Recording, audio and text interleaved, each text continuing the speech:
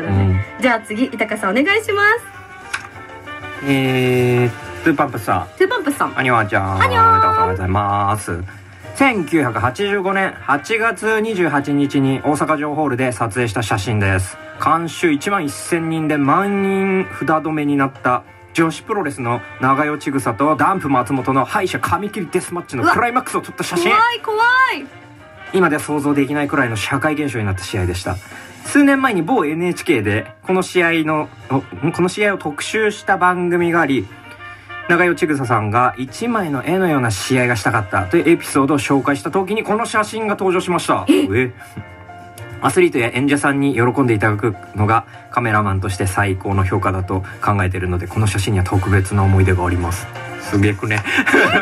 待って1枚の絵のような試合がしたいって言ったら、うんそれが出てきたのがトゥーパンプさんが撮った写真ってこと？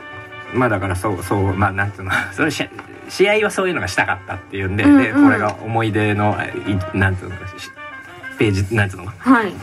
あれとしてこの写真が紹介されたんじゃない？こう髪を切られてるさ、うんうんうん。これトゥーパンプさんが撮ったわけじゃなく撮ったんだよ撮ったやねつでしょ？撮ったやつが新聞社に使われて、でこれを使ってくれたんじゃない？い。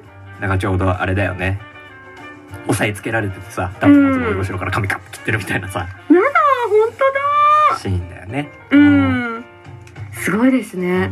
これってお互い了承してることなんですかね髪切ることとか。いやそういうデスマッチだから負けたら髪切るからっていうそういう約束で戦ってるわけだからさ、それは切られるよねってそっかだってやめてって仲間が言ってる。うんそうやめてって言ってるそういうエンタメだからさこれは。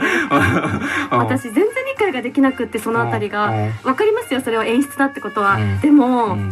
なんでこれをやろうと思うんだろうって。盛り上がるからだすろう。ごい多分これのねだから、まあ、もうちょっとこれをエンタメにすげえ消化したうん。ドラマがはい。ネットフリックスで始まるからそうなんですか？ダンプ松本を主役にしたあ配信始まるからそのうち。そうなんですか？ユリアンがさユリアン・レトリバーがさはい。ダンプ松本役で出るって言った。知らない？知らない。あれなんていうタイトルか忘れちゃったけど。あネットフリックスで。そうそうそう。私会員だから見れますよ。うんうん。なんでこの女子プロをさもっと、うん。なんていうのかな普通に売れたかったはいはい。そのダンプ松本のね元の松本なんとかちゃんは、うん。なんで悪役になってしまったんだっていうのを描くっていうんで、そのまあもねエンタメにはしてるだろうけど、はいはいゆりりネットリバーさんがそうそう。やるんですか？そうそうそう。あそうなんだ。知らなかった。9月ぐらいに多分配信始まるはずだちょっと目を隠しながら見よう。ちょっと面白いと思うちょっとねうん。怖いけうどん。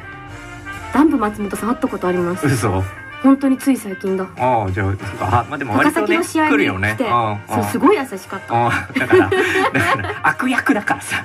ヒールにそうそうなんで悪役になったのかみたいなさ、ね。本当は違ったじゃん。だけどここにさ、このね長与千種とかさ、あうのん。時代をこう作った女子プロのさ人たちと対峙しなきゃいけなかったわけでしょ、はいはい。だからその辺が描かれるんじゃない？この辺も書くやるんじゃない？へー。なんで髪切りデスマッチとかさまあうん。なんでとは書かないだろうけどそういうね一そう戦のだよね。シーンとかもしかしたらあるかも、ね、あトゥーパンプさんのこの撮った写真のの映像が出るかもしれないってことですよね。極悪女王だ極悪女王ん。あドラマー見てみたいな。はい。頑張ってみます。うん